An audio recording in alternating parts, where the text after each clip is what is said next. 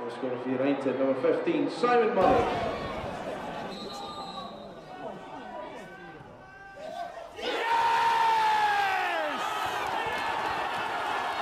Eventually finds Paul Dixon. Dixon's crossing.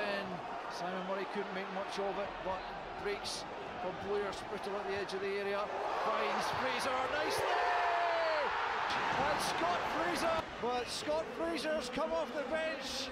Oh, and Thomas Tierney in the fashions. And our Mixu Paatelainen and Dundee United destined for the last eight of the Scottish Cup.